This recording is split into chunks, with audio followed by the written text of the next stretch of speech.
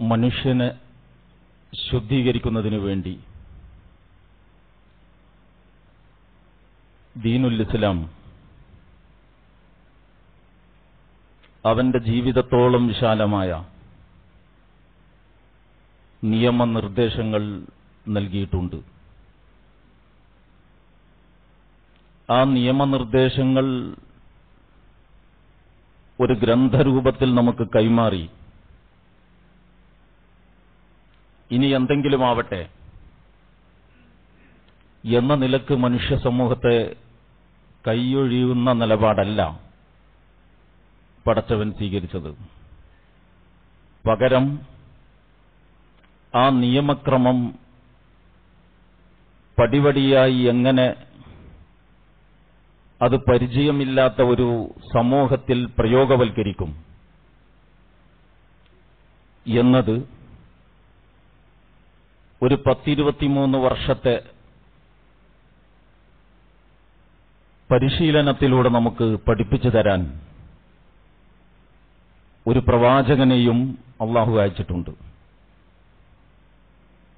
അവ നിയമനിർദ്ദേശങ്ങൾ തന്നു. അതിന്റെ ആധികാരികമായ ഒരു വ്യാഖ്യാനം പ്രയോഗതലത്തിൽ തന്നെ നമുക്ക് കാണിച്ചു തന്നു. വാക്കാൽ വിശദീകരിച്ചു തരികയല്ല പ്രയോഗതലത്തിൽ തന്നെ നമുക്ക് കാണിച്ചു തന്നു. എന്നിട്ട് ആ നിയമനിർദ്ദേശങ്ങൾ അനുസരിച്ച് മുന്നോട്ട് പോകുമ്പോൾ കാലാകാലങ്ങളിൽ ഇതിന്റെ അനുയായികൾക്ക് സംഭവിക്കാനുള്ള സംഭവിക്കാനിടയുള്ള പോരായ്മകളും വീഴ്ചകളും തിരുത്താൻ വേറെ കുറെ സംവിധാനങ്ങൾ അള്ളാഹു സുബാനുഭവ താല ഇതിനോട് ചേർത്തു വെച്ചു. അത്തരം സംവിധാനങ്ങളിലെ ഏറ്റവും പ്രധാനപ്പെട്ട ഒരു ഇനമാണ് ഇബാദാത്തുകൾ ആരാധനാ കർമ്മങ്ങൾ എന്ന് നമുക്കൊക്കെ അറിയാം. കഴിഞ്ഞ രണ്ടു വർഷം വിശേഷിച്ച് ഈ വിശ്വാസി സമൂഹം ഈമാനികവും ഇസ്ലാമികവും ആത്മീയവുമായി ഏറ്റവും ഉന്നതിയിലെത്താനിടയുള്ള വിശുദ്ധ റമലാനിൽ പോലും സംഘടിക്കുവാനോ ദീനിയായ അനുഷ്ഠാനങ്ങൾ ഒന്നിച്ചു നിർവഹിക്കുവാനോ നമുക്ക് കഴിയാതെ പോയിട്ടുണ്ട്. പരിശുദ്ധ റമലാനിൽ തന്നെ വീട്ടിലിരിക്കുക. ഇത് വെള്ളിയാഴ്ച ദിവസം. സാധാരണ ജമാഅത്ത് നമസ്കാരങ്ങൾ അവഗണിക്കപ്പെട്ടതിലുള്ള അല്ലെങ്കിൽ ഒഴിവാക്കിയതിലുള്ള വിഷമം അവിടെ ഇരിക്കട്ടെ. സാക്ഷാൽ ജുമാ വരെ തുടരെ തുടരെ ഒഴിവാക്കേണ്ടുന്ന സാഹചര്യങ്ങളിലൂടെയും നമ്മൾ കടന്നു വന്നു. ലോകത്ത് വിശ്വാസി സമൂഹത്തിന് ഇതിനു മുമ്പ് ഇങ്ങനെ ഒരവസ്ഥയുള്ളതായിട്ട് നമുക്കറിയില്ല. സ്വഫുകളിൽ തന്നെ നമ്മൾ വിട്ടുവിട്ട് നിലകൊണ്ടു. വിശ്വാസി സമൂഹത്തിന്റെ സാഹോദര്യം പ്രകടമാകുന്ന ആശ്ലേഷണങ്ങളും ആലിംഗനങ്ങളും തം വരെ നമ്മൾ വേണ്ടെന്ന് വെച്ചു. എന്ന് പറഞ്ഞാൽ അതൊക്കെ ചെറിയ കാര്യങ്ങളാണ്. അതിനു മുമ്പ് പറഞ്ഞത് വലിയ കാര്യങ്ങളാണ്. ഇസ്ലാമിക സമൂഹത്തെ സംബന്ധിച്ചിടത്തോളം ഇതിനേക്കാൾ വലിയ ഒരു പ്രതിസന്ധി വേറെ ഉണ്ടാവുകയില്ല. ഈ ഇനത്തിൽ നമ്മൾ ആലോചിക്കുമ്പോൾ മറ്റുള്ള പ്രതിസന്ധികളൊക്കെ നിസ്സാരമാണ് എന്ന് പറയാതെ പറയാൻ ആണ് ഞാൻ ഇത് പറയുന്നത് എന്ന് കരുതണ്ട. അതൊക്കെ വേറെ വിഷയങ്ങളാണ്. രാഷ്ട്രീയമോ സാമൂഹികമോ ഒക്കെയായ നമ്മൾ ഭദ്രതയുള്ളവരാണെങ്കിൽ നമുക്ക് കരുത്തുണ്ടെങ്കിൽ നമ്മളിൽ ഈമാനുണ്ടെങ്കിൽ മറ്റേത് പ്രതിസന്ധികളും നിസ്സാരമാണ്. പക്ഷെ നമ്മുടെ ഈ ഭദ്രതയെ നമ്മുടെ കരുത്തിനെ നമ്മുടെ ഈമാനിനെ തന്നെ ചോർത്തിക്കളയുന്ന സ്ഥിതിവിശേഷങ്ങളിലൂടെയും നമ്മൾ കടന്നു പോരേണ്ടി വന്നു ഈ പ്രതിസന്ധിയുടെ കാലത്ത്.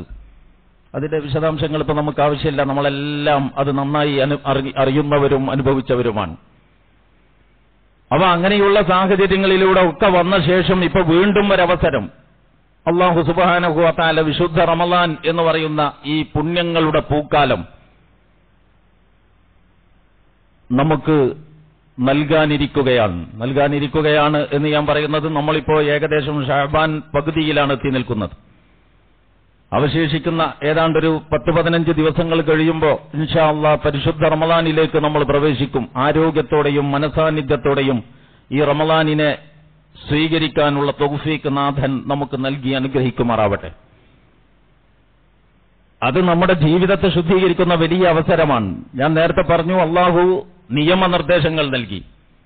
നിയമനിർദ്ദേശങ്ങൾ വിശദീകരിച്ച് വ്യാഖ്യാനിച്ച് നമ്മെ പഠിപ്പിക്കാൻ പ്രവാചകനെ നിയോഗിച്ചു.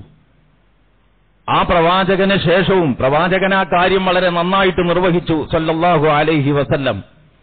പിന്നെ ആ പ്രവാചകന് ശേഷവും ഈ സമൂഹത്തിൽ ഈ ആത്മീയമായ ഈ ഉത്കർഷ ഈ വളർച്ച ഈ ഉന്മേഷം ഈ ഉണർത്തൽ ആവർത്തിച്ചുകൊണ്ടിരിക്കണം. അതിന് ചെറുതും വലുതുമായ ഒരുപാട് സംവിധാനങ്ങൾ റഹ്മാനും റഹീമുമായ റബ്ബ് ചെയ്തു വെച്ചു. തക്കുവയെ കൊണ്ട് നമ്മെ ഓർമ്മപ്പെടുത്ത നമ്മെ തക്കുവയിലേക്ക് നമ്മെ വിളിക്കാൻ പ്രചോദിപ്പിക്കാൻ. ഓരോ വെള്ളിയാഴ്ചയിലും ഇതുപോലെ ഒരുമിച്ച് കൂടുന്നത് അതിന്റെ ഭാഗമാണ് നമുക്കറിയാം. ഹുത്തുബ നടക്കുന്നത് ഏത് ഭാഷയിലോ ആവട്ടെ അതിലൊക്കെയും തക്കവ കൊണ്ടുള്ള വസീയത്ത് ആവർത്തിച്ചുകൊണ്ടേയിരിക്കുകയാണ്. ചില മധുഹബുകൾ ജുമാ നിർബന്ധം ശരിയാകണമെങ്കിൽ നാൽപ്പത് പേര് വേണം എന്ന് നിഷ്കർഷിച്ചിട്ടുണ്ട്. മുപ്പത്തൊമ്പത് ആളായാൽ ജുമാ ശരിയാവില്ല എന്ന് നമുക്കതിനെ കർമ്മശാസ്ത്രപരമായി വായിച്ചെടുക്കാം. നേരെ മറിച്ച് അതിനെ അങ്ങനെ എല്ലാവരെയും മനസ്സിലാക്കാം. അപ്പൊ എങ്ങനെ മനസ്സിലാക്കും? ഓരോ ആഴ്ചയിലും ഒരു പ്രദേശത്തെ നന്ന ചുരുങ്ങിയത് നാൽപ്പത് കുടുംബങ്ങളിലേക്കെങ്കിലും ഈ തക്കുവ കൊണ്ടുള്ള വസീയത്ത് എത്താതെ നിങ്ങൾക്കൊരു പ്രദേശത്ത് സംഘടിതമായിട്ട് മുന്നോട്ട് പോകാനാവില്ല. അപ്പൊ അങ്ങനെയും അതിനെ മനസ്സിലാക്കാം. നന്ന ചുരുങ്ങിയത് ഒരു നാൽപ്പത് കുടുംബങ്ങളിലേക്ക് ഈ സന്ദേശം എത്തണം. അപ്പൊ അത്രയും ജാഗ്രതയുണ്ടാകും. ഇതിന്റെ എണ്ണത്തിനൊരു നിയന്ത്രണമില്ലെങ്കിൽ കുറെ ആൾ വന്നു കുറെ ആൾ വന്നില്ല. എന്നാലും സംഗതി നടക്കും. ഒരു ഫർൾ കിഫായ ഒരു സാമൂഹ്യ ബാധ്യത എന്ന നിലയ്ക്ക് ജുമാ നടക്കും. അങ്ങനെ എവിടെയോ ആരോ എങ്ങനെയോ നടത്തിയാൽ പോരാ. നമ്മളതിൽ പങ്കാളികളാവണം. അപ്പൊ പുരുഷന്മാർക്ക് ജുമാ നിർബന്ധമാണ്. അവിടെ തക്കുവ കൊണ്ടുള്ള വസീയത്ത്. എന്നിട്ട് അള്ളാഹു സുബാനുഭവത്താല ഒരു മാസത്തെ സവിശേഷമായിട്ട് നിശ്ചയിച്ചു വെച്ച് വെച്ചിരിക്കുകയാണ്. ആ മാസം നമ്മളെല്ലാവരും മനസ്സിലാക്കിയതുപോലെ വിശുദ്ധ ഖുർആൻ ഇറങ്ങിയ മാസമാണ്. ഇന്നിപ്പോ ഷാബാൻ പതിനഞ്ചിന് ഷാബാനിന്റെ പകുതിക്കെന്തോ ഒരു പുണ്യമുണ്ട് എന്ന് കരുതുന്നവർ നമ്മുടെ സമൂഹത്തിലുണ്ട്. ഹദീസുകൾ വിശുദ്ധ ഖുർആാനിൽ സൂറത്ത് ദുഹാൻ എന്ന് പറയുന്ന ഒരു അധ്യായമുണ്ട്. വീട്ടിൽ ചെന്നിട്ട് മുസാഫ് എടുത്തിട്ട് അതിന്റെ തുടക്കത്തിൽ തന്നെ നമ്മൾ നോക്കിയാൽ അള്ളാഹു സുബാനഹുവത്താല ഏതോ ഒരു പരിശുദ്ധമായ രാവിനെ പറ്റി അവിടെ പറയുന്നുണ്ട്. ഇന്ന അൻസൽനാഹു ഫീ ലൈലത്തിൻ മുബാറക ഒരു അനുഗ്രഹീതമായ രാവ്. ആ രാവിലാണ് ഈ ഗ്രന്ഥത്തെ ഇറക്കിയത്. അതെന്തായിരുന്നാലും ഷാബാൻ പതിനഞ്ചിനല്ല വിശുദ്ധ ഖുർആൻ ഇറങ്ങാൻ ആരംഭിച്ചത് എന്ന് അത് ഏതിറക്കായാലും കൊള്ളാം. ഏതിറക്കം എന്ന് പറഞ്ഞാൽ ഒന്ന് ആ ലൗഹുൽ മാഫൂദിൽ നിന്ന് മൊത്തമായിട്ട് ഒന്നാം ആകാശത്തിലേക്ക് ഇറക്കി പിന്നെ ഒന്നാം ആകാശത്തിൽ നിന്ന് അതിന്റെ പടിപടിയായി ഘട്ടം ഘട്ടമായി ജിബിരിയിൽ എന്ന മലക്കിലൂടെ റസൂലുള്ളയിലേക്ക് ഇറക്കി ഇങ്ങനെ അവതരണത്തിന്റെ പല ഘട്ടങ്ങളെക്കുറിച്ചും ഗ്രന്ഥങ്ങളിൽ കിതാബുകളിൽ പറയുന്നുണ്ട്. പക്ഷെ വിശുദ്ധ ഖുർആൻ വളരെ ഖണ്ഡിതമായിട്ടൊരു കാര്യം പറയുന്നുണ്ട്. എന്താണ്? വിശുദ്ധ ഖുർആൻ എന്ന് പറയുന്നത് പരിശുദ്ധ റമലാൻ ഷെഹ്റു റമലാൻ ഖുർആൻ. അപ്പൊ ഖുർആൻ അവതരിച്ചത് റമലാൻ മാസത്തിലാണ്. എന്നതിൽ വിലമാക്കൾക്കിടയിൽ മുസ്ലിം ലോകത്ത് ഒരു വിധത്തിലുള്ള അഭിപ്രായ വ്യത്യാസവും ആ വിഷയത്തിലില്ല. വിശുദ്ധ ഖുർആൻ ഇറങ്ങിയത് പരിശുദ്ധ റമലാനിലാണ് നമുക്കൊക്കെ അറിയാവുന്ന സൂറത്തിൽ കതിറുണ്ട് ലൈലത്തുൽ ലൈലത്തുൽ ലൈലത്തുൽ മിൻ ഷഹർ. എന്ന് തുടങ്ങുന്ന ഭാഗം. ആ അധ്യായം വളരെ ലഘുവായ നമുക്കൊക്കെ കാണാതെ അറിയുന്ന അധ്യായങ്ങളിൽപ്പെട്ടതാണ്. സാധാരണക്കാർക്ക് പോലും. അപ്പൊ അവിടെ അള്ളാഹു സുബാനഹുവത്താല ഒരു അനുഗ്രഹീതമായ രാവിലാണ് ഈ ഗ്രന്ഥം ഇറക്കിയത് എന്ന് പറയുന്നുണ്ട്. ആ രാവിന്റെ സവിശേഷത അവിടെ വിശദീകരിക്കുന്നുണ്ട്. അവിടെ ലൈലത്തുൽ ഖദർ എന്ന് ഖുർആൻ പ്രയോഗിച്ചപ്പോ സൂറത്തു ദുഹാനിൽ ലൈലത്തുൽ മുബാറക്ക. ഇന്ന അൻസൽനാഹു ഫീ ലൈലത്തിൻ എന്ന് പറയുന്നു. അപ്പൊ അനുഗ്രഹീതമായ രാവ്. ഈ രണ്ട് അധ്യായങ്ങളും നമ്മൾ മുമ്പിൽ വെച്ചിട്ടൊരു ഒരു ഒരു പരിശോധന നടത്തിയാൽ ഈ രണ്ടിലും പറയുന്നത് ഒരേ കാര്യമാണ് എന്ന് മനസ്സിലാക്കാൻ പറ്റും. ആ കാര്യത്തിൽ നിന്ന് നമുക്ക് ബോധ്യപ്പെടും. പരിശുദ്ധ ഖുർആൻ അവതരിച്ചത് ഷാബാൻ മാസത്തിലല്ല അത് റമലാനിലാണ് ആ റമദാൻ മാസത്തിലെ ഈ വിശുദ്ധ ഖുർആാനിന്റെ അവതരണത്തെ പറ്റിയാണ് സൂറത്തു ദുഹാനിലും സൂറത്തുൽ കതിറിലും ഒരുപോലെ വിശദീകരിച്ചിട്ടുള്ളത്. ഞാനിപ്പോ അത് ആയത്തുകൾ ഓതി വിശദീകരിക്കാത്തത് അതിലേക്ക് കടക്കാൻ സമയം അനുവദിക്കില്ല എന്നതുകൊണ്ടാണ്. എന്നെ ശ്രദ്ധിച്ചുകൊണ്ടിരിക്കുന്ന സഹോദരന്മാർക്കും സഹോദരികൾക്കും സൂറത്തു ദുഹാനും സൂറത്തുൽ കതിറും എടുത്തിട്ട് വെറുതെ ഒന്ന് ഓതി നോക്കിയിട്ട് അതിന്റെ അർത്ഥം ഒന്ന് വായിച്ചു നോക്കിയാൽ വളരെ ലളിതമായിട്ട് കാണാൻ പറ്റും. സൂറത്ത് ദുഖാനിലെ ആദ്യത്തെ ഒരു നാലഞ്ച് സൂക്തങ്ങളാണ് ഈ വിഷയകമായിട്ട് പ്രത്യേകം പരാമർശിക്കപ്പെടുന്നത്. ഇപ്പൊ ഞാൻ പറഞ്ഞു വന്നത് സാബാൻ മാസത്തിന്റെ സവിശേഷതകളെ കുറിച്ചാണ് റസൂലുള്ളാഹി സല്ലാഹു അലൈഹി വസല്ലമയിൽ നിന്ന് ഉദ്ധരിക്കപ്പെട്ട ധാരാളം ഹദീസുകളിൽ ഷാബാൻ മാസത്തിന് മറ്റു മാസങ്ങളെക്കാൾ കുറെ കൂടി പ്രാധാന്യം റസൂലുള്ളാഹി സല്ലാഹു അലൈഹി വസല്ലമ നൽകിയിരുന്നു എന്ന് നമുക്ക് മനസ്സിലാക്കാൻ കഴിയും. അപ്പുറത്ത് റജബ് അത് കഴിഞ്ഞാൽ ഷാബാൻ പിന്നെ റമലാൻ. റജബ് എന്ന് പറയുന്നത് യുദ്ധം നിഷിദ്ധമായ മാസങ്ങളിൽപ്പെട്ടതാണ്. ഇപ്പുറത്ത് റമലാൻ എന്ന് പറയുന്നത് വളരെയേറെ അനുഗ്രഹങ്ങളുള്ള ഒരു മാസത്തിനും അതിനോട് സാമ്യത സാമ്യപ്പെടുത്താൻ പറ്റാത്ത അത്രയും സവിശേഷതയുള്ള ഒരു മാസമാണ്. റസൂലെ അങ്ങെന്തിനാണ് ഈ ഷാബാനിൽ ഇത്രയേറെ ഇബാദത്തുകൾ എടുക്കുന്നത്? എന്ന് പറഞ്ഞാൽ ദീർഘമായിട്ട് കുറേ ദിവസം തുടർച്ചയായിട്ട് അവിടെ നിന്ന് നോമ്പ് പിടിച്ചു. ഒരാഴ്ചയൊക്കെ തുടർച്ചയായിട്ട് സാധാരണ തിങ്കളാഴ്ച നോമ്പ് അല്ലെങ്കിൽ വ്യാഴാഴ്ച നോമ്പ് അല്ലെങ്കിൽ അയ്യാമുൽ ബീളിന്റെ പിന്നെ മൂന്ന് ദിവസങ്ങളിലെ നോമ്പ്. ഇങ്ങനത്തെ നോമ്പല്ലാതെ തുടരെ തുടരെ ഒരാഴ്ച നോമ്പെടുക്കുമ്പോ റസൂലുള്ള ഇവിടെ അനുവിനെ വീട്ടുകാരും അടുത്തടപഴകുന്നവരും കരുതി ഇനി റസൂലുള്ള നോമ്പ് ഒഴിവാക്കൂല. പിന്നെ ചിലപ്പോൾ നോമ്പ് ഒഴിവാക്കും. ഒരു രണ്ടു മൂന്ന് ദിവസം തുടർച്ചയായിട്ട്. അപ്പൊ അവർക്ക് തോന്നും ഇനി നോമ്പെടുക്കൂല. ഈ ഒരടുത്ത ദിവസമൊന്നും. എന്ന് പറഞ്ഞാൽ നോമ്പെടുത്തും മുറിച്ചും അടുത്തടുത്ത ദിവസങ്ങളിൽ തുടരെ തുടരെ ഏറ്റവും കൂടുതൽ ദിവസങ്ങൾ റസൂലുള്ളാഹി സല്ലാഹു അലൈഹി വസല്ലമ വ്രതമനുഷ്ഠിച്ചിരുന്നത് ഷാബാനിലായിരുന്നു എന്ന റിപ്പോർട്ടുകൾ പ്രബലമായ റിപ്പോർട്ടുകളിൽ നമുക്ക് കാണാം.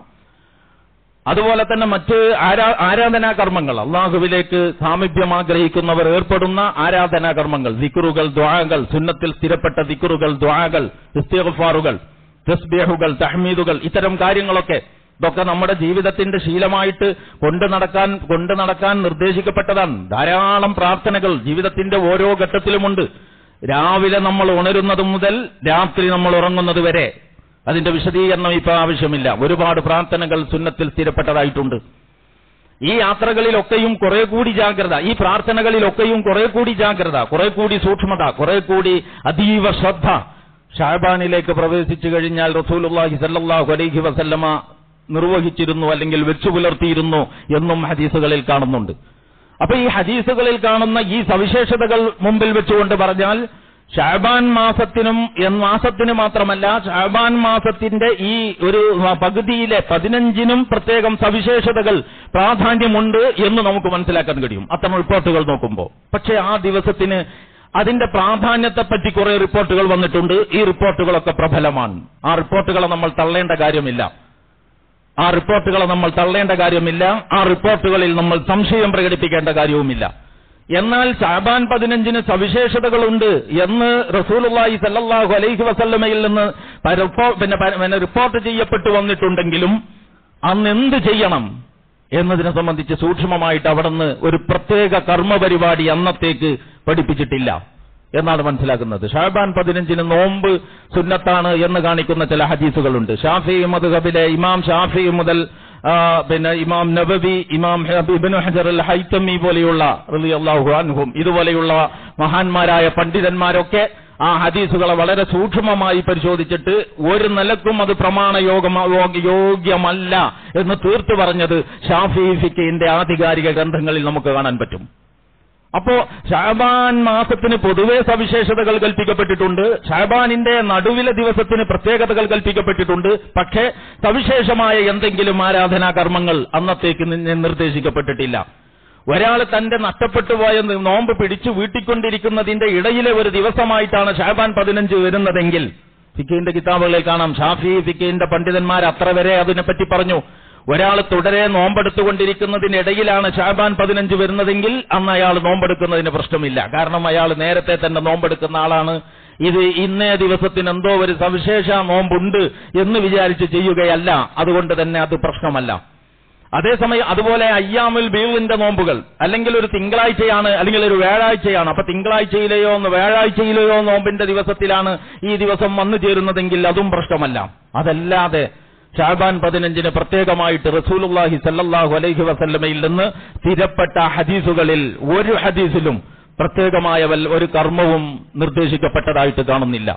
പക്ഷെ മാനസികവും ശാരീരികവുമായ ഒരു തയ്യാറെടുപ്പ് അത് ഷാബാനിന്റെ ഒരു സവിശേഷതയായിട്ട് നമ്മൾ അംഗീകരിക്കണം. അതിന്റെ ഭാഗമാണ് റസൂലുള്ളാഹി സല്ലാഹു അലൈഹി വസല്ലമ കൂടുതൽ നോമ്പെടുത്തിരുന്നു എന്ന് പറയുന്നതും എന്ന് നമ്മൾ കാണണം. അതായത് മാനസികമായി ഇപ്പൊ നമ്മൾ സാധാരണ ചെയ്യും നമ്മുടെ പള്ളികളൊക്കെ വൃത്തിയാക്കും. ഹൗൽ കഴുകി ചുറ്റുവട്ടം വൃത്തിയാക്കി ഇങ്ങനെയൊക്കെയുള്ള കാര്യങ്ങളിൽ ഏർപ്പെടും. നമ്മുടെ സാമ്പ്രദായികമായി ഈ മതാചാരങ്ങളിൽ നിഷ്ഠ പുലർത്തുന്ന വിഭാഗങ്ങൾ ആ കാര്യത്തിൽ കുറെ കൂടി ജാഗ്രതയോടെയും സൂക്ഷ്മതയോടെയും അത്തരം കാര്യങ്ങൾ ചെയ്യും. അതൊക്കെ ആപേക്ഷികമാണ്. ആളുകളുടെ സൗകര്യമനുസരിച്ച് പിന്നെ പിന്നെ ഈ ശുദ്ധീകരണങ്ങളിൽ ഏർപ്പെടേണ്ടത് ആവശ്യവുമാണ്. നമ്മുടെ വീട്ടിലൊക്കെ സഹോദരിമാരെ ശ്രദ്ധിച്ചാലറിയാം. നിങ്ങൾ ഇതിങ്ങനെ ശ്രദ്ധിച്ചിരിക്കുന്ന ഒരാളുകളായി മാത്രം മാറാതെ അത്തരം കാര്യങ്ങളിലൊക്കെ അവരെ സഹായിക്കുന്നതും നല്ലതാണ്. കാരണം വീട്ടിലെ സാധാരണ പണികളിൽപ്പെട്ടതല്ല അത്. സാധാരണ നേരം വെളുത്തിട്ട് വൈകുന്നേരം നമ്മൾ ഉറങ്ങുന്നത് വരെ ഒരു വീട്ടിലെ ഒരു പണി ഒരു സഹോദരി ചെയ്യുന്നത് ഒരു ദിവസം ഏറ്റെടുത്ത് നിർവഹിച്ചാൽ നമുക്ക് ബോധ്യപ്പെടും എന്താണ് ഈ പണിയെന്ന്. അല്ലാതെ അത് ബോധ്യപ്പെടില്ല എത്ര കണ്ടാലും അത് മനസ്സിലാവില്ല എന്താ അവൾ ചെയ്യണതെന്ന്. അവിടെ കിടന്ന് തിരിയുന്ന കാണാം ഏത് നേരം നോക്കിയാലും. അല്ലെങ്കിൽ ഇപ്പം എന്താ അവൾക്ക് പണി? പക്ഷെ അത് ഒരു ദിവസം വേറെ അവരാഴ്ചയൊന്നും വേണ്ട ഒരൊറ്റ ദിവസം രാവിലെ ഉണർന്നിട്ട് നമുക്കും നമ്മുടെ മക്കൾക്കും നമ്മളുടെ വളർത്തുമൃഗങ്ങൾക്കും നമ്മുടെ വീട്ടിലെ ഉപകരണങ്ങൾക്കും മറ്റ് സൗകര്യങ്ങൾക്കും വേണ്ടി അതിന്റെ ഒക്കെ ഒരു പരിചര ഒരു പരിപാലനം ഒരു പരിചരണം ഉണ്ടല്ലോ ഒരൊറ്റ ദിവസം ഏറ്റെടുത്ത് നടപ്പാക്കിയാൽ മതി. അപ്പൊ മനസ്സിലാവും വൈകുന്നേരം ആകുമ്പോഴേക്ക് ഇതെന്താണ് പണിയെന്നും. അത് സാധാരണ നടക്കുന്നുണ്ട് ഒരു കുഴപ്പമില്ലാതെ എന്ന് നമ്മൾ കാണണം. അത് നമ്മൾ അംഗീകരിക്കണം. അതിനെ നമ്മൾ വിലമതിക്കണം. ഞാൻ കൂട്ടത്തിൽ പറയാം. ഇപ്പൊ വിഷയം അതൊന്നുമല്ല. ഇപ്പൊ നമ്മൾ വീട്ടിലൊരു ഒരു ഏതെങ്കിലും ഒരു സന്ദർഭത്തിൽ നമ്മൾ കുറെ ആളുകൾ താമസിക്കുന്ന ഒരു വീടാണല്ലോ. കയ്യെത്താത്ത നോക്കെത്താത്ത അങ്ങ് കുനിഞ്ഞിട്ടോ അല്ലെങ്കിൽ അങ്ങ് നീണ്ടു നിവർന്ന് വലിഞ്ഞിട്ടോ എത്തിയിട്ടില്ലാത്ത പ്രദേശങ്ങൾ താഴെയും മേലെയും ഒക്കെ ഉണ്ടാകും വീട്ടിൽ. സ്വാഭാവികമായിട്ടും റമദാനൊക്കെ ആകുമ്പോൾ മൊത്തത്തിലൊന്ന് വൃത്തിയാക്കണം എന്ന ഒരു കീഴ്വഴക്കമുണ്ട്. ഇനി ന്യൂജനൊക്കെ വന്നാൽ ഇതൊക്കെ ഉണ്ടാവും എന്നുള്ളത് വേറെ വിഷയമാണ്. അള്ള തൗഫീഖ് ചെയ്തിട്ട് ഇപ്പൊ ജീവിക്കുന്ന തലമുറയിൽ വരെ നമ്മുടെ സഹോദരിമാർക്കൊക്കെ അങ്ങനത്തെ ഒരു ബോധമുണ്ട്. അങ്ങനെ കുറെ പണികൾ അവർ വീട്ടിൽ ചെയ്യും. ഇത് നോമ്പിന്റെ ഒരു മുന്നൊരുക്കമാണ്. ആ മുന്നൊരുക്കത്തിലും നമ്മൾ കൂടണം. പക്ഷേ ഈ നിസ്കാരക്കുപ്പായ അലക്കലും ഈ അടിക്കലും തുടക്കലും ഈ പെയിന്റടിക്കലും ഹൗൽ കഴുകലും ഇത് മാത്രമാണ് നോമ്പിന്റെ മുന്നൊരുക്കം എന്ന് സഹോദരന്മാരും സഹോദരിമാരും കരുതരുത്. അതാണ് യഥാർത്ഥത്തിൽ ഇപ്പൊ എന്റെ വിഷയം. ബാക്കിയൊക്കെ ഞാൻ അതിന്റെ ഇടയിൽ പറഞ്ഞതാണ്. അതായത് റമലാൻ എന്ന് പറയുന്നത് നമ്മുടെ ബാഹ്യമായ ഒരു കർമ്മമല്ല. ബാഹ്യമായ ഒരു കർമ്മമല്ലല്ലോ. നോമ്പുണ്ടോ എന്ന് നോക്കിയാൽ കാണുമോ അപ്പൊ അതിന് സാധാരണ ഇബാദത്തുകളിൽ നിന്ന് വ്യത്യസ്തമായ ഒരു സ്വഭാവം അതിനുണ്ട്. അതിനെപ്പറ്റി റമദാ മാസത്തിൽ നമ്മൾ കുറെ കേൾക്കും. അതുകൊണ്ട് ഞാനിപ്പോ അതിലേക്ക് കടക്കുന്നില്ല. ഞാൻ പറഞ്ഞു വന്നത് മനുഷ്യന്റെ ശുദ്ധീകരണം എന്ന് പറയുന്നത് ബാഹ്യം പോലെ ആന്തരികവും പ്രധാനമാണ് എന്ന് നമുക്കെല്ലാവർക്കും അറിയാം. വല തഖറബുൽ ഫവാഹിഷ വമാ ശുദ്ധ ഖുർആനിന്റെ പ്രയോഗം അങ്ങനെയാണ്. ഫവാഹിഷ. നിങ്ങൾ മ്ലേച്ഛതകളെ സമീപിക്കരുത്. മ്ലേച്ഛതകളും പേറി നടക്കരുത് എന്ന് പറയാം. അപ്പോ അതിൽ നിന്ന് ബാഹ്യമായതും ആന്തരികമായതും. നോക്കിയാൽ കാണുന്നതും കാണാത്തതും. നമ്മളിപ്പോ നടന്നു വരുന്നതിന്റെ ഇടയിൽ അല്ലെങ്കിൽ നമ്മളിവിടെ എത്താൻ നേരത്ത് നമ്മുടെ ഒരു സുഹൃത്ത് ചോദിച്ചു നിങ്ങളെ പുറത്തെന്താ? ചെറിയൊരു പുള്ളിയുള്ളൂ വെള്ളക്കുപ്പായപ്പോ കൂടുതൽ കണ്ടതാണ് എന്ന് വെക്കുക ആ ചോദ്യം കേട്ടത് മുതൽ പിന്നെ നമുക്കൊരു സ്വസ്ഥതയില്ല. എവിടെയെങ്കിലും ആൾ കാണാത്തടത്ത് പോയിട്ട് ഷർട്ട് ഊരിയിട്ട് നമ്മൾ തന്നെ അതൊന്ന് കാണണം. അവളെ നമുക്കൊരു സമാധാനം വരുള്ളൂ എന്തായിരിക്കും ഇപ്പൊ പുറത്ത്? ഇതൊന്നും പ്രശ്നമില്ലാത്ത ചില മനുഷ്യന്മാരുണ്ടാവും. അതിനെ പറ്റിയല്ല ഞാൻ പറഞ്ഞത്. സാധാരണഗതിയിലെ മനുഷ്യന്മാരെ പ്രകൃതത്തെ കുറിച്ച് പറയാം. ഒരു വിശ്വാസം ഉണ്ടാവും. മൂപ്പർക്ക് ഷർട്ട് ഊരിയിട്ടൊന്ന് നോക്കണം. ആ അത്രേ ഉള്ളൂ. ഇതിനെപ്പറ്റി അപ്പൊ മൂപ്പര് ഈ പറഞ്ഞത്. നമുക്ക് സമാധാനമായി അല്ല കുറച്ച് അധികം ഉണ്ടോ ഉണ്ടെങ്കിലോ? അത് കഴുകിയാ പോവുമെന്ന് നമ്മൾ നോക്കും. നനഞ്ഞതിട്ടാലും വേണ്ടിയില്ല കഴുകിയാ പോവുമെന്ന്. നമ്മുടെ ഒരു ഒരു ഒരു സാമൂഹ്യ ബോധത്തിൽ നിന്നുണ്ടാകുന്ന ഒരു വൃത്തിബോധമാണത്. വെറും വൃത്തിബോധം മാത്രമല്ല അത് അങ്ങനെ ഈ അപ്പോ അത് വൃത്തിയാക്കാൻ നമ്മൾ ശ്രമിക്കും. വല്ല നജിസാണെങ്കിലോ എങ്ങനെയെങ്കിലും വൃത്തിയാക്കും. ഒരു നിലക്കും വൃത്തിയാകാൻ പറ്റാത്ത വിധം വൃത്തികേടായിട്ടുണ്ടെങ്കിൽ വേറെ ഷർട്ടിനെ കുറിച്ചാണ് പിന്നെ നമ്മൾ ചിന്തിക്കുന്നത്. മുന്നോട്ടുള്ള യാത്രയിലും തുടർന്നുള്ള കാര്യങ്ങളിലും.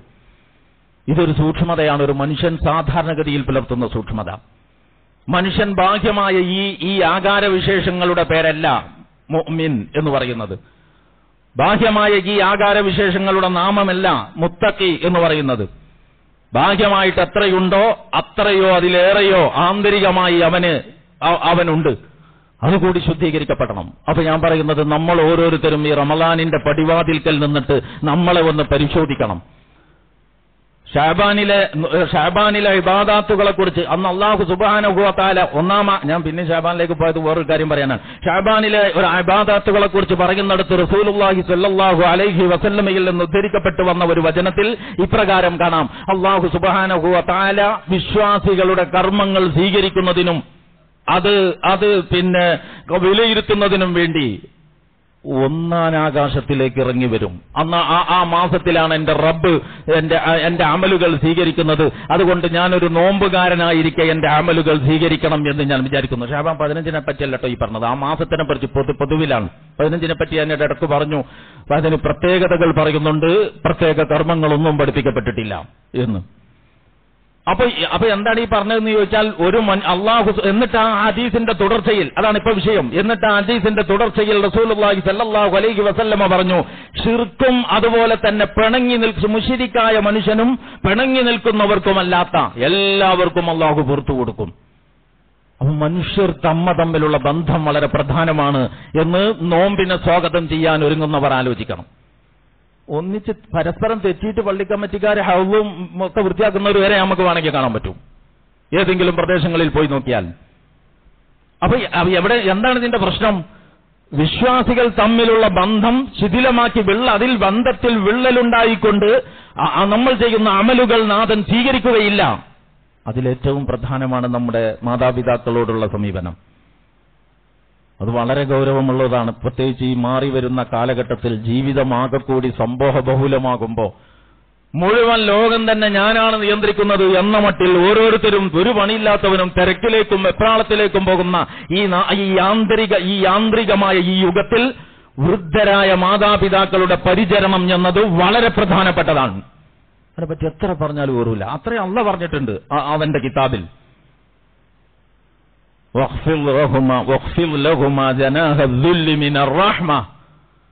കണ്ടിട്ടില്ലേ? ഈ കോഴികളൊക്കെ കോഴിക്കുഞ്ഞുങ്ങളൊക്കെ കണ്ട പക്ഷിയുണ്ടല്ലോ? ആ കോഴിയുണ്ടല്ലോ? കോഴിന്റെ ചുണ്ട് മാത്രം ഇങ്ങനെ കാണും ആ തോലിന്റെ ഉള്ളിൽ നിന്ന് പത്ത് പന്ത്രണ്ട് കുഞ്ഞുങ്ങളുണ്ടെങ്കിലും എല്ലാത്തിനും ആ കോഴിയുടെ ചിറകിന്റെ ഉള്ളിൽ സ്പേസ് ഉണ്ട്.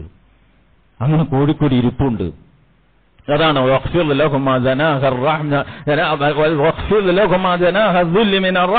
അവർ ഈ റഹ്മത്തിന്റെ ഈ കാരുണ്യത്തിന്റെ ചിറക് അവർക്ക് വിരിച്ചു കൊടുക്കണം.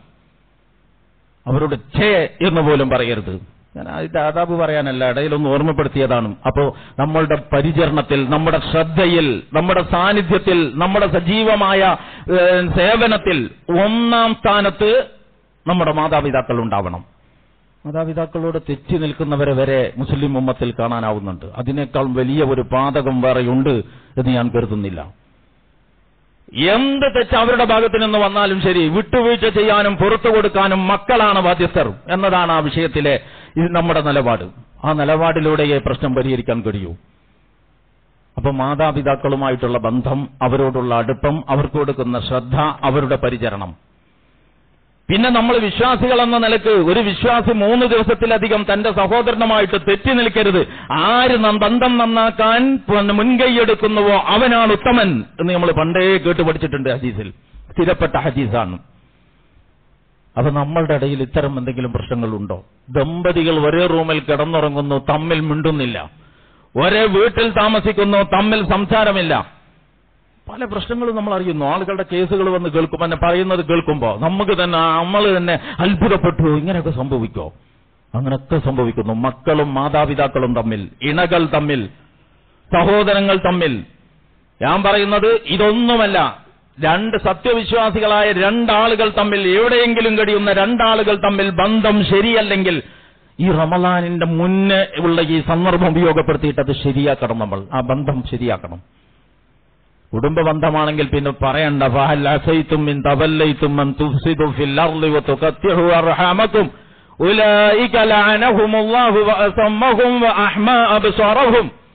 കുടുംബ ബന്ധം മുറിച്ചിട്ട് നമ്മൾ മുന്നോട്ട് പോകാൻ തീരുമാനിക്കുമ്പോൾ അന്തരും മൂകരുമായിട്ട് അള്ളാഹു നമ്മെ അവിടെ പുനർജീവിപ്പിക്കും എന്ന് മുന്നറിയിപ്പ് നൽകിയിരിക്കുകയാണ്. ഇതിനേക്കാൾ വലിയ ധിക്കാരം നിങ്ങൾക്ക് ഇനി വേറെന്ത് ചെയ്യാൻ പറ്റും? എന്നാണ് റബ്ബിന്റെ ചോദ്യം. വളരെ ഗൗരവമുള്ള വിഷയമാണിത്.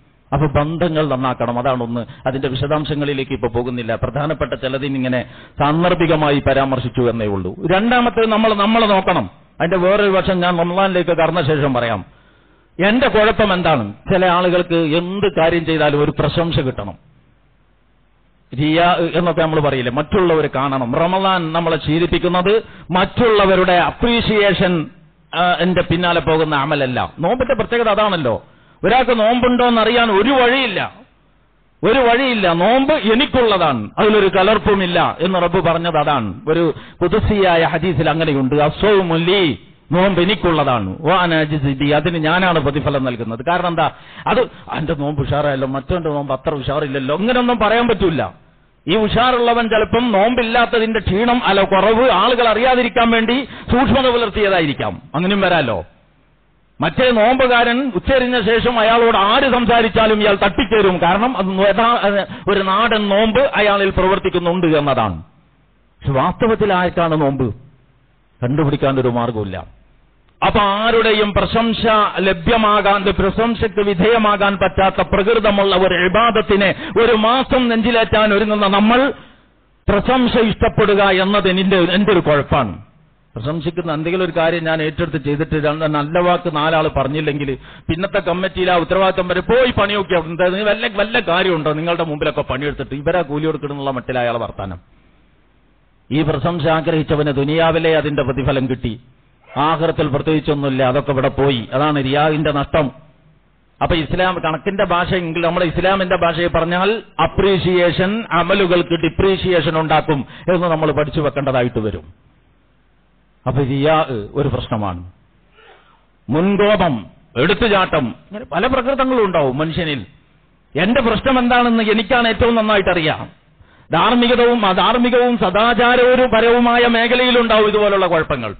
ഈ ഇന്റർനെറ്റിന്റെയും സ്വകാര്യതകളുടെയും ലോകത്ത്. സ്വകാര്യത വളരെയേറെ വികസിച്ച ഒരു കാലമാണിത്. എന്ത് ഹറാമുകളെയും ഏത് തന്നെ വ്യക്തിക്കും എത്ര വലിയ ജനമധ്യത്തിലും ആരും അറിയാതെ മൂടിവെക്കാൻ ആധുനിക സാങ്കേതിക വിദ്യകൾ അവസരം നൽകുന്നുണ്ട് എന്ന ഒരു വശവും കൂടി കാണുമ്പോൾ ഇതൊക്കെ പ്രശ്നമാണ്. അതിലൊന്നും ഒരാൾക്കും വേറൊരാളെ തിരുത്താൻ കഴിയില്ല. നമ്മളുടെ തിരുത്താണ് ഏറ്റവും പ്രധാനം എന്ന് നിങ്ങൾ കാണണം. അങ്ങനെ ഈ റമദാനിന് മുമ്പ് അതാണ് പറഞ്ഞത് ഹൗലിന്റെ അടിയിൽ പിന്നെ അടിഞ്ഞുകൂടിയ ഒരു കൊല്ലത്തെ ആ മുഷിഞ്ഞ വെള്ളം ദുഷിച്ച ആ മാലിന്യങ്ങൾ നമ്മൾ പുറത്താക്കുന്നത് പോലെ. ഹൗലിനെ പറ്റിയാണ് ഞാൻ പറയുന്നത്. അല്ലെങ്കിൽ മുസല്ലയിലോ നിസ്കാരക്കുപ്പായത്തിലോ മറ്റുള്ള സ്ഥലങ്ങളിലോ ഉള്ള മാലിന്യങ്ങളെ കളയുന്നത് പോലെ നമ്മളിൽ എന്തൊക്കെ മാലിന്യങ്ങൾ അടിഞ്ഞു ചേർന്നിട്ടുണ്ട് എന്നൊരു കണക്കെടുപ്പ് നടത്താനും അതിൽ നിന്ന് മുക്തമാക്കി എടുക്കണം ഈ റമദാനോടെ എന്ന് പ്രതിജ്ഞ ചെയ്യാനും ഈ ഷഹബാനിൽ നമുക്ക് കഴിയണം. അത് നമ്മുടെ ശുദ്ധി കലശത്തിന്റെ ഭാഗമായിട്ട് നിങ്ങൾ കാണണം. യാ ഇബാദിയല്ലദീന സുറഫു അല അംബുസിഹിം സ്വന്തത്തിന്റെ കാര്യത്തിൽ സ്വന്തത്തോട് അതിക്രമം ചെയ്ത എന്റെ ദാസന്മാരെ ലാ തഖ്നതു മിൻ റഹ്മത്തില്ല അള്ളാഹുവിന്റെ ഔദാര്യത്തിൽ നിങ്ങൾ ഒരിക്കലും തന്നെ നിരാശരാവേണ്ട. ഇന്നല്ലാഹു യഗ്ഫിറു ദുനൂബ ജമീഅ. ഇന്ന അല്ലാഹു സുബ്ഹാനഹു വ എല്ലാ പാപങ്ങളും പുറത്തു തരും അവൻ പൊറുക്കുന്നവനും ക്ഷമ അവൻ പൊറുക്കുന്നവനും കാരുണ്യവാനുമാണല്ലോ എന്ന് വിശുദ്ധ ഖുർആൻ സൂറത്തു സൂറത്തു ജുമറിൽ നമ്മെ പഠിപ്പിക്കുന്നുണ്ട്. അതിന്റെ തുടർന്നുള്ള രണ്ടായത്തുകളിൽ എങ്ങനെയാണ് അള്ളാഹുവിന്റെ ഈ ഈ കാരുണ്യത്തിന് പ്രത്യേകമായിട്ട് അർഹനാകാൻ എന്ത് ചെയ്യണം എന്നും പറയുന്നുണ്ട്. അതൊന്നും വേറൊന്നുമല്ല. അത് അവൻ നമുക്ക് നൽകിയ നിയമവ്യവസ്ഥയനുസരിച്ച് നമ്മുടെ ജീവിതത്തെ ചിട്ടപ്പെടുത്തലാണ്. അതിനു പറ്റിയ ഏറ്റവും നല്ല അവസരമാണിത്. ആത്മാർത്ഥതയോടെ പ്രയോജനപ്പെടുത്തുന്നുവെങ്കിൽ നമ്മുടെ ജീവിതത്തെ ശുദ്ധീകരിക്കാൻ അതുകൊണ്ട് കഴിയും. അതുകൊണ്ട് ഞാൻ ആകെ കൂടി അപരാധിയായി പോയല്ലോ എന്ന് കരുതി സ്വന്തത്തോട് അതിക്രമം ചെയ്തവരെ നിങ്ങൾ നിരാശപ്പെടണ്ട. ഇത് റബ്ബിന്റെ ഒരു ആശ്വാസാന്ത്വനമാണ് ഈ സാന്ത്വനത്തിന്റെ വിളംബരമാണ്. ഈ റമലാനിന്റെ ഏറ്റവും ആദ്യത്തെ വിളംബരം. അതാണ് ഇപ്പൊ നമ്മുടെ കാതുകളിൽ മുഴങ്ങുന്നത്. അതിന് നമ്മൾ കാതോർക്കണം. ഇതാണൊന്ന്. രണ്ടാമത്തെ ഒരു കാര്യം വിശ്വാസ വിഭാഗം പൊതുവെ ഒറ്റ വാചകം പറഞ്ഞ് ഞാൻ അവസാനിപ്പിക്കാം. ഇപ്പോ കർണ ഈ പിന്നെ ഹിജാബ് പിന്നെ നിരോധനത്തിന്റെ വിധി അല്ലെങ്കിൽ കോടതി ഹൈക്കോടതി അത് ശരിവെച്ചു. മേൽക്കോടതി ഇനി എന്താക്കുന്നുള്ളത് അവിടെ ചെല്ലുമ്പോൾ പിന്നെ കാണാനിരിക്കാം. പ്രശ്നങ്ങൾ പലതായിട്ട് വന്നുകൊണ്ടിരിക്കുന്നു. ഓരോ പ്രശ്നം വരുമ്പോഴും നമ്മൾ വലിയ വലിയ അസ്വസ്ഥതകൾ പ്രകടിപ്പിച്ച് വലിയ വർത്തമാനങ്ങൾ പറഞ്ഞ് നാനാജാതി മതസ്ഥർ ഒന്നിച്ചു നിൽക്കുന്ന ഒരു നാട്ടിലെ ആ ഒന്നിച്ചു നിൽക്കുന്ന ജീവിതാന്തരീക്ഷത്തെ മലീമസമപ്പെടുത്തുന്നിടത്തേക്ക് പോയിട്ടൊരു കാര്യമില്ല. വലിയ വർത്തമാനങ്ങൾ പറയുന്നവർക്കൊക്കെ ആ വർത്തമാനങ്ങളെ ഉള്ളൂ. അതിനപ്പുറം അവർ അതിനെക്കുറിച്ച് ചിന്തിച്ചിട്ടില്ല എന്ന് തോന്നിപ്പോകും പലപ്പോഴും. അത് നമ്മൾ നിരാശപ്പെടരുത്. നിയമവ്യവസ്ഥയിൽ പ്രതീക്ഷ. ഈ രാജ്യത്തിലെ കോടിക്കണക്കിന് ജനങ്ങളിൽ പ്രതീക്ഷ. അവ ഇവിടുത്തെ വിശ്വാസി വിഭാഗത്തിന്റെ ഒത്തൊരുമയിൽ പ്രതീക്ഷ. അതിനപ്പുറത്ത് സർവാധിനാഥനായ റബ്ബിന്റെ സഹായത്തിൽ പ്രതീക്ഷ. ഇതൊക്കെ വെച്ചു പുലർത്തിക്കൊണ്ട് ശാന്തമായി പണിയെടുക്കുക എന്നതല്ലാതെ പ്രതിഷേധിക്കേണ്ട സമരം നടത്തേണ്ടെന്നൊന്നും ഈ പറഞ്ഞതിനർത്ഥമില്ല അത് അതിന്റെതായ മര്യാദകളും അതിന്റെതായ സൂക്ഷ്മതയും പുലർത്തിയാകുമ്പോൾ അത് സമൂഹം നമ്മളോ നമ്മോടൊപ്പം ചേർന്ന് നിൽക്കാനുള്ള ഒരു പണിയാക്കി മാറ്റാൻ പറ്റും. നമ്മളൊരു പ്രബോധക സംഘമാണ്. ഏത് പ്രതിഷേധത്തെയും ആ പ്രബോധനപരമായ ഉള്ളടക്കത്തോടെ ഡിസൈൻ ചെയ്യാൻ കഴിയുമെങ്കിൽ അതിനൊക്കെ ഒരുപാട് റിസൾട്ടുകൾ ഉണ്ടാകും. അങ്ങനെ വിശ്വാസി സമൂഹത്തിന്റെ ഏറ്റവും വലിയ പ്രതിസന്ധി ഘട്ടമാണ് ഏറ്റവും വലിയ റിസൾട്ടായി മാറിയത് എന്ന ചരിത്ര ചരിത്രപാഠം മുമ്പിൽ വെച്ചുകൊണ്ട് വേണം നിരാശപ്പെടാതെ നമുക്ക് മുന്നോട്ട് പോകാൻ. സാമൂഹികമായും നമ്മൾ നിരാശപ്പെടരുത്. വ്യക്തിപരമായി ഓരോരുത്തരും താൻ എത്തി നിൽക്കുന്ന അവസ്ഥ വളരെ മോശമാണല്ലോ എന്ന് കരുതിയും നിരാശപ്പെടരുത്. പകരം റബ്ബിൽ പ്രതീക്ഷ അർപ്പിച്ചുകൊണ്ട് മുന്നോട്ട് പോവുക. സർവശക്തനായ നാഥൻ നമ്മെ തുണക്കുമാറാവട്ടെ. നമ്മോട് പിന്നെ പല രീതിയിലും സഹവസിച്ചിരുന്ന അടുത്ത സുഹൃത്തുക്കളായ കുറെ ആളുകൾ അള്ളാഹുവിലേക്ക് പല ഘട്ടങ്ങളിലായി യാത്ര പോയി. റഹ്മാനും റഹീമുമായ റബ്ബെ അവർക്ക് നീ പുറത്തു കൊടുക്കണേ തമ്പുരാനെ. അവരുടെ അമലുകൾ നീ സ്വീകരിക്കണേ നാഥ. ഞങ്ങളുടെ വേണ്ടപ്പെട്ടവർ മാതാക്കൾ പിതാക്കൾ ഇണകൾ സന്താനങ്ങൾ ഞങ്ങളോട് ദ്വാ കൊണ്ട് ഒസിയത്ത് ചെയ്തവർ ഞങ്ങളോട് നന്മയിൽ വർത്തിച്ചവർ ഞങ്ങളെ സ്നേഹിച്ചിരുന്നവർ ഞങ്ങൾ സ്നേഹിച്ചിരുന്നവർ. അങ്ങനെ ധാരാളം ആളുകൾ നിന്നിലേക്ക് യാത്രയായിട്ടുണ്ട് റബ്ബെ. അവരോടൊക്കെ നീ കരുണ കാണിക്കണേ തമ്പുരാനെ. അവരുടെ ബർദ്ധഹിയായ ജീവിതം സ്വർഗീയമാക്കണേ നാഥ. അവരുടെ പാപങ്ങൾ പുറത്തു കൊടുക്കണേ റബ്ബെ. അവരുടെ അമലുകൾ സ്വീകരിക്കണേ അല്ല പടച്ചവനെ ഈ റമലാനിനെ മനസാന്നിധ്യത്തോടെയും ഉന്മേഷത്തോടെയും കെട്ടുറപ്പോടെയും ഒത്തൊരുമയോടെയും സ്വാഗതം ചെയ്യാനുള്ള തൗഫീക്ക് ഞങ്ങൾക്കും ഞങ്ങളുടെ കുടുംബത്തിനും ഞങ്ങളുടെ ഈ സമൂഹത്തിനും നീ നൽകി അനുഗ്രഹിക്കണേ റബ്ബെ. റമലാൻ അനുകൂലമായി സാക്ഷി നിൽക്കുന്നവരുടെ കൂട്ടത്തിൽ ഉൾപ്പെടുത്താനുള്ള ഉൾപ്പെടാനുള്ള ഞങ്ങളുടെ പരിശ്രമങ്ങളെ നീ തുണക്കണേ നാഥ. പാപങ്ങൾ ഞങ്ങൾക്ക് നീ പുറത്തു തരണേ റബ്ബെ. പടച്ചവനെ നിന്റെ മാർഗത്തിൽ ഇഖ്ലാസോടുകൂടി ഒരുമ ഒരു- പ്രവർത്തിക്കുവാൻ നിലകൊള്ളുവാൻ ഞങ്ങൾക്ക് നീ തൗഫീക്ക് നൽകണേ റബ്ബെ. ഇസ്ലാമിനെ നേരെ ഉയർത്തിക്കൊണ്ടിരിക്കുന്ന ചെറുതും വലുതുമായ എല്ലാ വെല്ലുവിളികളെയും നിന്റെ മാർഗത്തിൽ നിന്റെ നിന്റെ ഹബീബായ റസൂൽ പഠിപ്പിച്ച അതേ മാതൃകയിൽ പ്രതിരോധിച്ചുകൊണ്ട് ഇസ്സത്തുള്ള ഒരു ഇസ്ലാമിക സമൂഹത്തിന്റെ നിർമ്മിതിക്ക് ഞങ്ങൾക്ക് നീ തുണ നൽകണേ അല്ലാ അഖൂലു ഖൗലി ഹാദാ. അസ്തഗ്ഫിറുല്ലാഹ മുഅ്മിനീന വൽ ഇന്നഹു ഹുവൽ റഹീം.